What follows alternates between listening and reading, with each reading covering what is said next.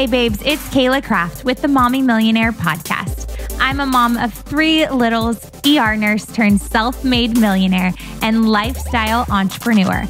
I am bringing you inspiring stories, business, and mindset tips to help you be shameless in pursuing your ambitions.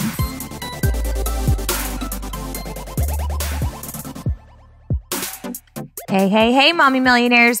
So today we have a special edition and we're calling it Crafting in Chaos because Chase and I are going to do little bonus episodes like this for you guys a couple times a month, probably.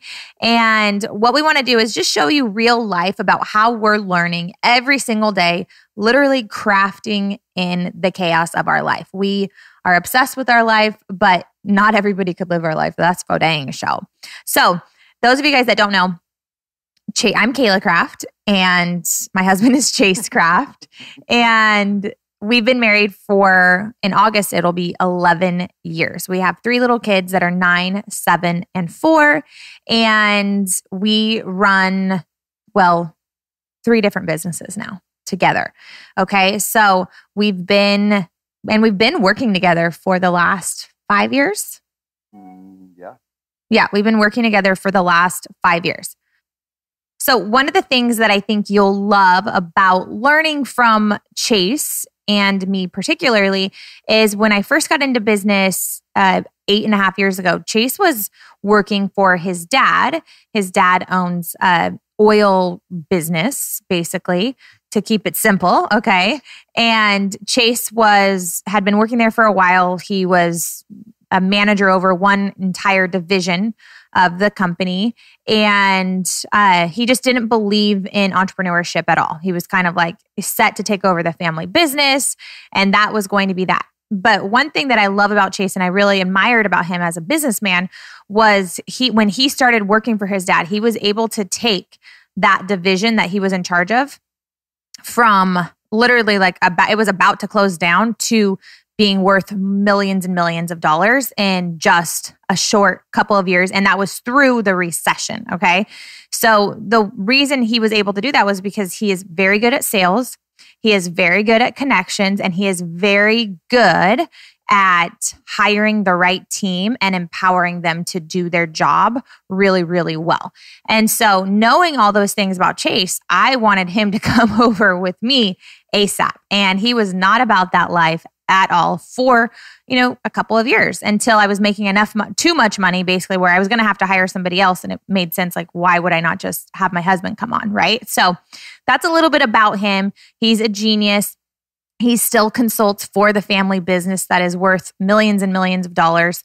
And I don't say that to brag. I'm just saying like he's he's very highly sought after business consultant. And we get to have him as a part of Mommy Millionaire, which is really cool. And if you guys are in our mastermind, you see a ton of Chase and you see that he's he's the brains behind the beauty.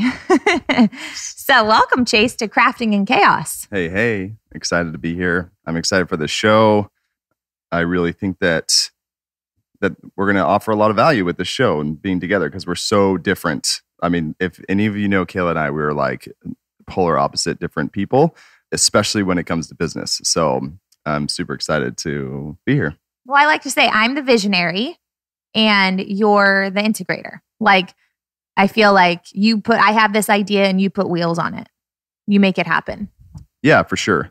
And I think I think I'm working. I want to be a good visionary, and I'm working on. I'm working on. You don't have to be. Just let me do that. No, I know that. I'm. I'm saying I'm working on dreaming bigger, and I think that's what this.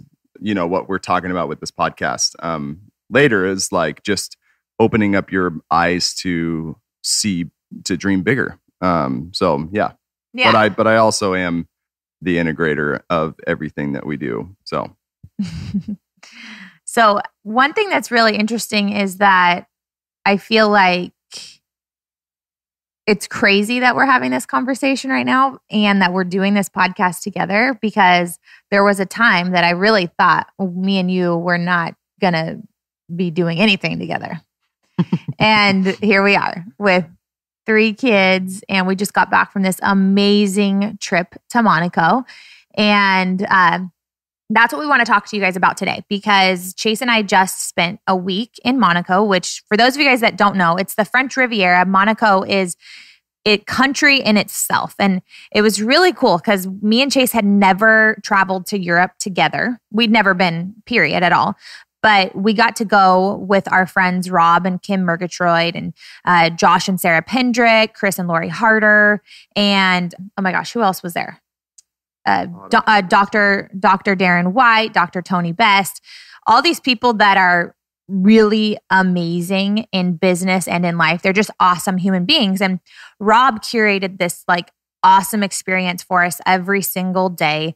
Um, he's he's actually in Europe still. He'll stay there for four months and then come back to California. He takes his family every single summer to to Europe. And so he knows a ton of the locals and we got to learn a ton about Monaco. And before I, I honestly thought Monaco was a city because it's only one square mile. So you look at it and you wouldn't think it would be its own country. It has its own king and prince and all this stuff. And we got to see the castle. It was just crazy. 35,000 people live in this little one square mile and it's beautiful. It's like nothing I've ever seen before. And it was really cool to get to experience that with Chase and with all of our friends. But the reason why we wanted to talk about it was because no joke, up until two weeks before the trip, Chase and I were not going to go. We weren't going to go. We had so much going on. We had just had this launch that didn't really go as planned. Our, you know, Chase's dad had to have surgery last minute. So we had, we didn't have a babysitter all of a sudden. Like there were all these things that just went wrong. We're like, you know what? We just don't feel good about leaving the country.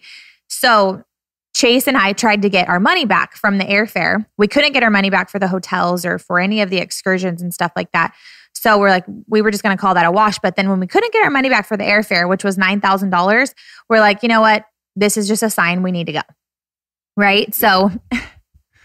yeah, no, I mean, we, we literally were trying everything to get out of this. And uh, we kept on hitting roadblock after roadblock after roadblock, and we had all of our friends like, "You guys have to go. If you've never experienced Europe, it's like this is a once in a lifetime thing. Especially if you're for your first time to go to Europe and then go to Monaco, was like, you know, we had everyone telling us that like if we could make it happen, we had to make it happen. so we ended up going, but the reason why I wanted to share that little lesson is because sometimes in our lives, like we have to plan things like this way ahead of time because even look at us we were trying to sabotage sabotage our own success and our own fun because it just didn't feel like the right time right? And a lot of us can do that in business in our life and we never take vacations. But because chase and i signed up for this trip a year ago and had paid for it in advance. We we set up our team to you know, like you know be in charge of everything while we were gone. You know everything was set in place, and we just couldn't get out of it because you know when you've spent you know twenty thousand dollars on a trip, you're like I'm going right. And so the lesson for all of you guys is basically you've got to make time for the things that are important to you. And the reason why Chase and I invested in this trip a year ago was because we know we're workaholics and we don't take enough time to play and we like to just work, work, work. And, you know, then we hang out with our kids and our friends were always going like, well, what do you guys do for fun? And we're like, we just, we don't, we don't really do anything. Right. And so that is why we had invested in this. And so do those things ahead of time. If you guys have trouble playing, if you have trouble, you know, disconnecting from your business or if you have trouble even connecting as a uh, you know, in your marriage, like you have to set these things in place. And I'll be honest, like when this trip was going to Monaco, Chase and I were not in a good place. I feel like we were just really at odds because we were just very stressed. But going to Monaco, I feel like it was a perfect time. Like God knew we were going to need this trip to reconnect and just kind of just get re-inspired together. Yeah. And if you know me at all, which most of you don't, I am driven by ROI. And so if say what ROI is. Uh, return on investment. So everything that we spend in our business and our life, I'm always looking for what's my return? What am I going to get out of spending this money? And so it's difficult for me to spend $10,000 on some plane tickets when when you know i don't see there's no there's it's not a it's not a business investment. It's not there's no roi attached to it. So when we were trying to get our plane tickets back and this is still a money mindset block that i need to get over right? Like when we were trying to get our plane tickets back i in the back of my mind i'm going oh that's awesome. I get 10 i'm going to get that $10000 back you know and then i can invest that into something that's actually going to give us a return which is totally a money mindset thing that i'm still working through. Kind of give you guys a little background you know, Cayla had mentioned that, you know, I, I, when I was working for my dad, I was working through the recession in 2008 and all that kind of stuff. So, you know, I have a lot of, I have a, still to this day, I'm still working through a lot of money mindset issues because when, give you a little background, I graduated high school. I started working for my dad right out of high school um, as a laborer. And he literally painted the outside of like tanks in the oil fields. If you guys ever like drive by oil fields, that was Chase like painting tanks. Okay. Probably most people aren't driving by oil fields, but water tanks, anything like that. Basically anything steel.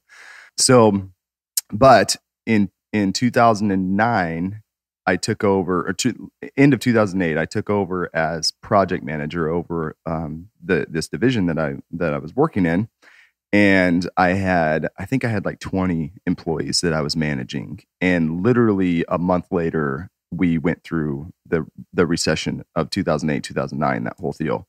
And I went from overnight went from 20 employees down to 3 employees that were working furlough days. So they were doing trading off 3 days a week overnight like literally never i was 19 years old never managed a single person in my life and now i'm having to manage furlough days and recession and the whole thing. And so that shaped my money mindset from the very beginning of scarcity. And um and so that's stuff that i have to continually fight through and and work through because now you know, I don't see, I, I, have a hard time seeing value when I'm putting $10,000 into a trip, seeing value in the fact that one, that I'm super grateful and thankful that we're even able to do that.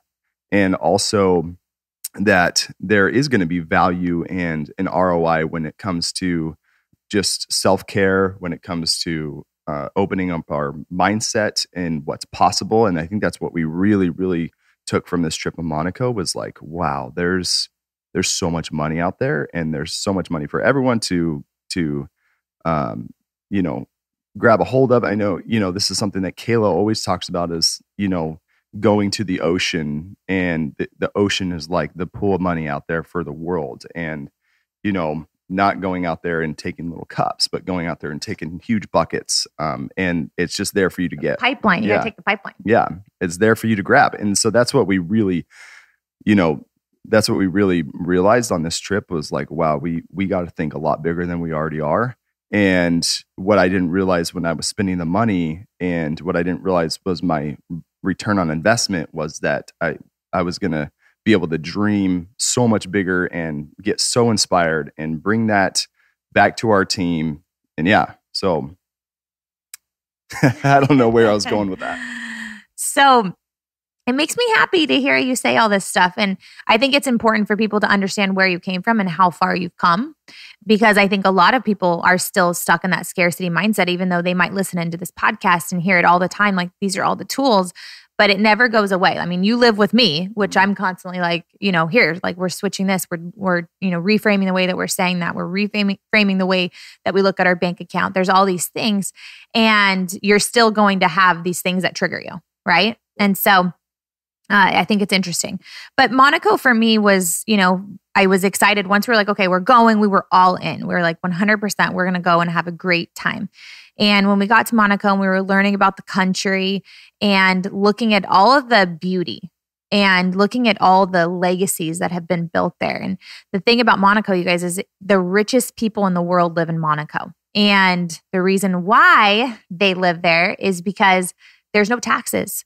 So, literally, billionaires from all over the world go and they reside there. They change their residence to Monaco because that's where a lot of their money is basically kept safe.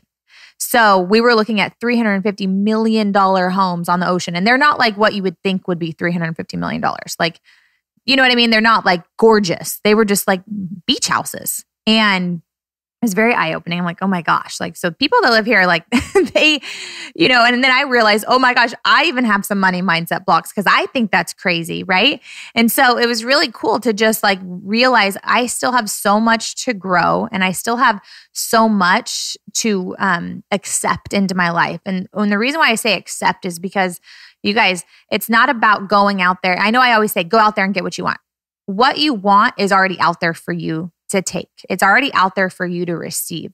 It's about you becoming that person that can accept it into your life. Because even me, I was looking at that $350 million home and thinking in the back of my head, I could never have that. And I knew that was a money block. And I go, wait, I got to change that up and just accept that into my life and go, oh, that home could be mine if I wanted it. I don't want it right now because they need to do some work on it and update it. You know what I'm saying? but but it was really cool. And so I want all of you guys to realize that. And that was the biggest realization for me. We had dinner at um, this beautiful, uh, I can't remember, I, it was above the, it was next to the Monte Carlo Casino in Monaco. And we had dinner next to Tommy Hilfiger and Kris Jenner. And I really had like a pinch me moment because you guys, those are billionaires, right? And I know other billionaires, but these are like famous billionaires. And I was looking at them, I'm thinking, there's no difference between me and them, except they've just learned a couple more things than me. And they believe that they can have anything they want in the world, right? And so I was like, okay, I have to become that next version of Cayla who who believes all of that. And then I will be able to accept those new things into my life. And all of you guys listening in right now, ask yourself that. Who do you need to become in order to accept those things that you've always dreamed about, that you've always wanted in your life? Because it's just another level of you. And for me, it was, I, I just, I uncovered some more limiting beliefs of myself and I'm, and it's about believing something different. Now that I'm aware of the limiting beliefs that I had, And now I just know, okay, I just got to think something different. And so I've legit been brainwashing myself every single morning. And Chase has heard me. I have this meditation go off all about wealth and abundance at 5 a.m. every morning. And it plays for two hours while I'm getting ready, while I'm still laying in bed in the morning. And it's just saying over and over again. Last night I woke up at 2 a.m. I just put it on and I fell back asleep to it and I let it play for three hours while I was asleep. So I'm just brainwashing myself into believing different thoughts once again. And that's what you honestly have to do. You have to brainwash yourself into believing something different. I did it in Monaco the whole entire time too while I was sleeping. Well, actually, while I didn't sleep, I didn't sleep in Monaco. yeah, we had trouble sleeping. That's why I'm having weird dreams because I'm having like this lady talk in my sleep all night. like I'm waking up, I'm like, who in the world is in my bedroom talking? And it's Cayla's meditation thing that she just has playing in the background. Um, yeah. So, like going off of just reframing your mindset, this was something that I really realized in Monaco too. Was you know my team can attest to this. Is I'm always talking to them about if if we want to be a fifty million dollar company, we have to frame our business like we are a $50 million company right now. Um, because if if we grow there, then we're not going to be acting like fifty dollars. If we, we when we grow yeah. there, see, there's another mindset. um, so what I tell them is that if we aren't acting like a fifty million dollar company now, we're not going to operate and act like a fifty million dollar company then. And so that was a real realization for me and my mindset was if I'm not reframing my mindset to think like a billionaire now, I'm not going to get there. You know, I mean, it's not it's not going to come for me because I haven't I haven't put myself in that place yet. Just like I I am in my business. I'm in in our business. We're putting the systems in place. We're putting the the framework there to operate like a fifty million dollar business. But I'm not doing that in my in my mindset. And so mm-hmm. I think that was a big realization for me was I need to get out of just just the nuts and bolts and what we're doing in our business, but also just reframe that all that stuff in in, in my mindset as well. Hmm. Uh, one of my favorite things that we did was we got to go um, drive classical cars through the French Riviera. What what kind of car did we have? I don't remember the year. I know it was a it was a Porsche 911, but I can't remember the year. Hmm. It was funny because we had test drove Porsche 911s a couple years ago, and I I thought my heart stopped because I was going so fast. It was crazy. yeah. So, so just go. That's a funny story because, so we get behind this brand new 2007. I think it was back in 17 or 18 Porsche 911 Turbo, which is a very fast car, and I let Cayla take the wheel uh, first out of the dealership. So we pull out of the dealership. The dealership let us just her and I just take the car by ourselves. So she's driving, and we're getting ready to get on the freeway. And I told her, as we're pulling out of the dealership, I told her, okay, be careful because this thing has a lot of power.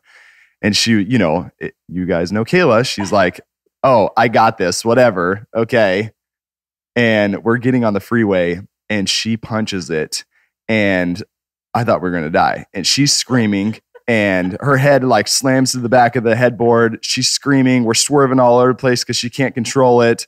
And I thought, this is it. We're going to crash this $250,000 car. And I don't, I don't think I have insurance for this. I don't know. I, I'm just going to have to check my insurance plan because I'm pretty sure that crashing a dealership car is probably not covered. And that was our 9/11 um, experience before this one in Monaco. yeah, and needless to say, we did not get that car. No. I think I ended, that was when I ended up getting my G wagon. Yeah. Right. That's what, which is really weird that we were choosing between a G wagon and a 911 turbo. It's like the most opposite vehicles ever, but that was our that was our choice. Oh, and we gosh. chose the we chose the G wagon because we couldn't put luggage in the 911 when we lived in Bakersfield and had to go to LAX all the time to travel. Mhm. Now we barely travel. uh, so it no, was now we just get Ubers when we travel. Money. You got money now, Bubba. Money. anyways, I loved this experience because uh, we just drove, you know, through the French Riviera. It was just an experience like no other. Like I can't even explain it. We were just going through these hills, and there was a whole line of us. All of our friends were all in these different classical cars. Sarah was in this really old red Ferrari, and Chris and Lori were in this. Um, what were they in? Oh my gosh, the car that they had was so cute.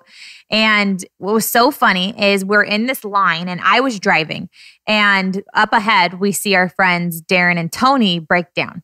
And it stopped the whole entire line of cars and it stopped all of Europe, basically. Like, mm-hmm. you know what I'm saying? Like, everybody was stopped because Tony and Darren broke down. And it was crazy to me because it was no big deal. It was no big deal. In America, like they would have been getting flipped off. Like there would have been people getting out of their car, like going off because this whole highway on this hill was stopped because they were stopped, right? And it was just no big deal. They got out of the car, they pushed the car out of the way, and then Tony and Darren got in our car and we went on with life. And that was huge to me because I thought about how many times in our lives do we make a big deal about things that don't really matter. And, and over in Europe, they just they're just so laid back. Like that was one thing I was like if I could bottle this up and take it home, I would. And I would pay a million dollars to have it. Because they're just it's just like, eh, if it doesn't matter in 5 years, we're not really going to care about it now. Like you don't see angry people, you know? Like nobody was getting flipped off. It was just it, it was just so crazy to me. And I thought, how many times do I do this on a daily basis where I get angry when I'm driving and somebody's like slow and I'm like, come on, hurry up, I gotta go. And it really just taught me to legit not take life that seriously because it's really not that big of a deal. Like, it's really not that big of a deal. Yeah. We stopped traffic a few times too. so it's been quite a while since the last time I drove a stick shift. And yeah, that was that was interesting. There was lots of we were driving on lots of hills and there were like little stop signs at hills and there's a train of cars behind us and I'm worried about letting off that brake with the clutch on and rolling into the back of um, another vehicle. And so yeah, we we stalled her a couple times in the with a line of cars everywhere. Yeah, that was um, not my finest driving moments. And so when we get home, he's like looking into how to buy a stick shift car because he wants to get good at it again. That's the competitive spirit in him. I Yeah. love it. I don't like being bad at anything. Hey, I like being married to a winner. there you go. So now I can buy a new car. What kind of car do you want to get? What like? I know you took the boys the other day. They told me. Yeah, yeah. I want to get a Ferrari 488 Spider. Is that a stick shift? No, it's not. My gosh, there's spiders, McLarens, hoppin' hoppins, ants. what the heck? I can't keep up with all these cars. I can't keep up with all these cars. But um, what's so crazy is that like a couple years ago, you guys, like our our friend got a really nice car, and Chase was like, "Oh, there's just no purpose in it. Why would you spend all your money? Like if you had four hundred thousand dollars, why would you spend it on a car?" And now Chase looks at it as, "Well, you don't you don't it's not like one or the other. Like you could you could get the Ferrari, the four hundred thousand dollar car, plus you can help the homeless, plus you can do this, plus you can do that. Like it's not like it's we used to just be so like scarcity thinking. Like, well, if I get that and I spend a lot of money there, then I can't have this and I can't help those people. And uh, it's just so cool to see. I keep on. I think I feel like that's the theme of this podcast is I keep on saying how far you've come. but I think to to just like talk about that just for a second with you guys is like I wish people we could go back in time with people and do a podcast 5 years ago so people could see that when you do put in the work and you're focused on change, you surround yourself with the right people, everything does start to change for you. It truly does, but it's a process and and just knowing like Chase was so like he was just a good old boy. He was just a good old boy. And I never thought that he was ever going to, he's still a good old boy, but he's very like, you know, he just dreams big. He's like out there looking at $100 million yachts and going, oh, yeah, we're, we're going to have one of these one day. And he said it so sure of himself. I was like, wow, who am I married to? But I love it. Yeah, I think um, my buddy Chris Harder and I had this conversation um, the other night, you know, and he and he says something that that I think is really true is look on people with inspiration, not envy. And that's something that so much of us carry in not being shameless with what we what we want. And that's something, you know, that's Cayla's tagline, right? Like be shameless, like go get you what you want. And part of part of my mindset issue was that I would cared I cared about having nice things because I cared about what other people thought about me if I had those nice things. You know, well, you have a dad that has a nice cherry red Corvette that he has a cover on in his garage that he's probably drove three times because he doesn't want people to know that he has yeah. a Corvette. Yeah. And I and I understand that mindset. I know, like, right? I love like him. He, yeah. And uh, I think I think that you know, I used to have that mindset because that was an that was a mindset issue that I needed to get over was I would look at people that had Ferraris, I would look at people that had the the the multi-million dollar houses, I would look at people that had the yachts and I'm like, "Oh god, you know, like I would get an attitude towards them." Um, because that was because that was a mirror for me because I felt like if I had those things that people would be looking at me like that. Instead, what what the what the mindset shift that changed in me was I looked at it that at that as inspiration because now now I'm in the position that I can have those nice things and I know that that I don't need to be worried about what other people are going to think. I need to be worried about how I'm going to inspire other people by having the, that stuff because I know that it's an inspiration for people that you know when when like when we were in Monaco we we took speedboats from Monaco to Saint Tropez and we were driving by yachts that I'm not kidding guys like these things, I thought they were cruise ships. Like I, we were driving by and I'm like, oh, that, what, what cruise ship is that? And they're like, no, that's a private yacht. I'm like, what? Like $300 million yachts. Insane. Like I, I've never seen anything in my life. You know, five years ago, I'd look at that. Psh, really? Like who, who needs a 300? Like that's ridiculous. Why would anybody? Now I look at it and I go, okay, like there's the new bar. There's the new bar that we just set for ourselves. Like, like we're going to, I, I want to work hard so that I can have the freedom to have a $300 million yacht and be able to take my fam my whole entire family on vacations w- across the world. Like you know like there was a, it was a it was inspiring for me.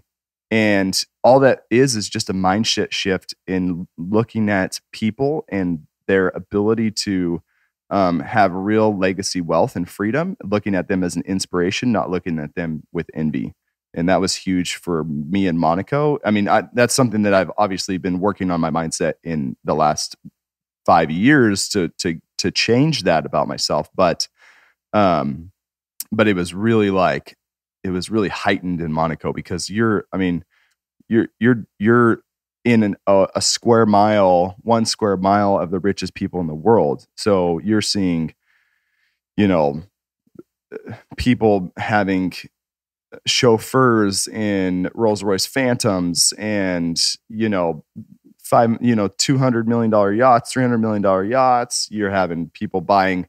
We were at we were at a club in San Tropez that one of the cabanas at the club was a fifty thousand dollar minimum. You know, and just to sit in that cabana, you had to spend fifty thousand dollars in. I was really pissed at Chase that he couldn't buy it for me. Yeah. So like your eyes are just open to the fact that well we're playing small. Like i i want to have you know even though i don't know that i would spend $50000 on a cabana but i want to have the freedom to be able to do that if if that opportunity came up and we all you know decided that's what we wanted to spend our money on and it not be a big deal you know? Like so just just being able to open up our eyes to what's possible and being able to dream bigger that was like that was so fun for me. And i that was one of the biggest takeaways that i had about monaco and just about europe was the sky's the limit and if those people can do it i can do it mm. i mean i feel like we could go on and on about monaco but i the last thing i'll share with you guys is this is that just on that boat ride home we were on a yacht because Sarah and I wanted air conditioning. and we didn't want to do the speedboat. And we were sitting up on the uh, is it the bow of the boat? The bow of the boat, and we were looking at the sunset. And Chase was night night because he drank too much at the pool. and Rose all day, baby. and um, anyways, and I had just ate pizza at the club. Like I was like, I'm not even touching that human soup party that's happening in the pool. It's disgusting. and uh, I was on the bow of the boat and I was looking at the sunset, and it was a sunset like I've never seen before. It was just, I can't even explain it. You guys are going to have to go there to see it for yourself. It was just so beautiful and breathtaking. And I looked over at my friends Yasna and Josh and Sarah, and we're like, "How is this our life? Like, how is this our life?" I'm 31 years old, sitting on the bow of this beautiful boat, looking at this ocean in the French Riviera uh, and just on a yacht. And life is great. And my kids are at home, happy, having so much fun with my mom. And I'm like, how did this happen? How did this happen for myself? A girl that came from legit nothing to being on this yacht that created this life for herself and and I was in tears it's even bringing me to tears now because what was so crazy when I first started my business, you guys, was I said, I want to be on a yacht with my friends when I'm 40 years old. That was my goal. Like you can ask my friends, like when I first got started in Isagenix. That's literally what I said because to me, that was so not where I came from. Like that was the sky, like dream. That was the big dream. Like there's no way that's ever going to happen. And here I am at 31 years old, doing it nine years sooner than I thought possible. And this is legit my life. And it's so, it gives me chills and it just makes me so excited for all of you guys because, you know, I believed it when I was 23. I had no idea how it was going to happen. I was just like, oh, yeah, that's going to happen. But here I am, you know, eight years later, living out that dream. And I didn't even realize it until I was on the bow of the boat that I'm, oh my gosh, I visualized this eight years ago. And I had forgot about the visualization. And that's exactly how manifesting happens, you guys, is you believe a dream, you know, and you put it out there and then you let the process happen for you. You know, because I didn't even know we were going to be going on a yacht. That was what was crazy. Rob set it all up because I wanted air conditioning. and the other the other group went on a speedboat.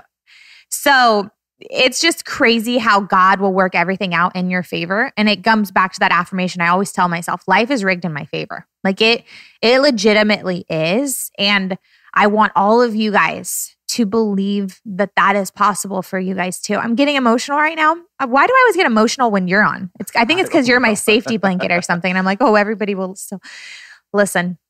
Um, but I just want all of you guys to believe that you guys can have it too, because I I, I was thinking about my mom and like just so many like money blocks that came up. And I think about like my dad now that I, you know, you guys heard about in the last podcast that I don't talk to, my brother who I don't have a relationship with. There's a lot of like mess that I came from.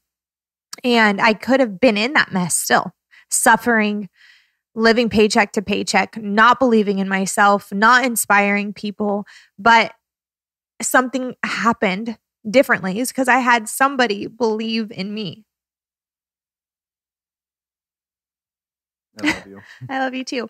But even though I don't know all of you guys personally that listen into this podcast, I believe in you. And this is why we do this. This is why we're getting on and doing this, sharing our hearts, bearing our souls with you guys, is because we want to inspire you. We want you guys to know that if you believe it, you can do it. You know, plug into this podcast, invest in yourself, and don't let anybody ever tell you that you can't have something that you dream about because so many people told me, no, you're crazy. There's no way you're ever going to have that life. I was the underdog. Like people didn't believe in me. And I just want you guys to know if you feel like that out there in that world, like that people don't believe in you, know that Chase and I, we do believe in you. And we're out here hustling 24 7 to figure out a way for everybody to live this life and give you guys the tools that you guys need to live in abundance.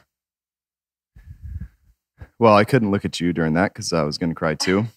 But I just want to tell you, like, when Cayla tells you that that people told her that she wasn't capable of doing it, or that that you know she wasn't gonna she wasn't going to, you know, if anyone knows Cayla, Cayla has she's she is the epitome of a visionary and dreamer. Uh, you know, sh- like just the fact that that we are where we are today like if she if she would have told she did tell me that when when we when she first started in her network marketing business she would tell me we're going to be millionaires and like i'm sure there's a lot of people that listen to this podcast that that the the the person that is being trying to diminish your light the most is the one that's closest to you your spouse and that was me. And i'm so thankful that the only reason that we're in this place that we are in now is because Cayla didn't listen to me and didn't let me diminish her light. And like she had every excuse in the world to not go after what she wanted because the people that were the very closest to her the people that should have been the the biggest cheerleaders were the biggest critics and the biggest the the ones that were that were like shooting the arrows into the back. Like that that's and so i just want to give you guys encouragement that she she was able to push through that you know? And thank god that i that i turned and changed and all of that. So there's hope for you spouse or for you women out there that have and maybe men i don't know who all is listening to this podcast but there is hope that your spouse is going to change and is going to turn and be supportive and it, you know hopefully one day be able to dream with and all that kind of stuff. But i don't want that to be your excuse. I don't want that to be what's holding you back from getting what you want because i'm telling you right now that they will be thankful in the end when if you stay the course and you you know don't let their negativity or their discouragement keep you from getting what you want I love that. Yay! so, I thought a fun thing to do to wrap up this podcast would be for all of you guys to plan something fun for yourself, something that would inspire you to dream bigger. And it might be a big investment for yourself, you know, but if you haven't gone on a, on a trip with your spouse recently, um, plan it you know, even if it's a year from now, even if it's a year and a half from now, start putting money away. Start, you know, pocketing. That's how we paid for this trip was we paid for it monthly. We put away, you know, $3,000 a month to go on this trip. And it was just a non-negotiable for us. And so I want you guys to treat your fun as a non negotiable as well, because I promise you, you're going to come back re inspired, ready to hit the road, and you have time to connect with your loved one as well. So I challenge all of you guys to do that when you do do that, when you book something or you put it on the calendar, tag us over at mommymillionaire.co. Come into the Mommy Millionaire community if you're having trouble doing it, and let's talk about it together in there. For those of you guys that don't know, we do have a Facebook group that's completely free called the Mommy Millionaire Community. We talk about the podcast in there, and we also, you know, have real life discussions about what's going on in our lives. So head over there if you are not in that yet. Also, if this podcast touched your life at all and you feel inspired and you think it might help some of your friends, we would love to see you guys text it out there to your friends. So if you just go and you copy the link and you text it, to your friends, what we're going to do is we're doing a giveaway for a Mommy Millionaire Live general admission ticket. If you text this podcast to 10 of your friends, send us the screenshots over at info at mommymillionaire.co. You text us all of the screenshots, you'll be entered in to win a general admission ticket. So we can't wait to see you guys all at Mommy Millionaire Live. Yeah, yeah. See you guys. Thank you for listening to the Mommy Millionaire podcast. For free resources and materials, head over to mommymillionaire.co. Make sure to follow Mommy Millionaire on Spotify and subscribe on iTunes. And it would mean the world to me if you left a five star review of the show. And as always, ladies, go out there and get what you want.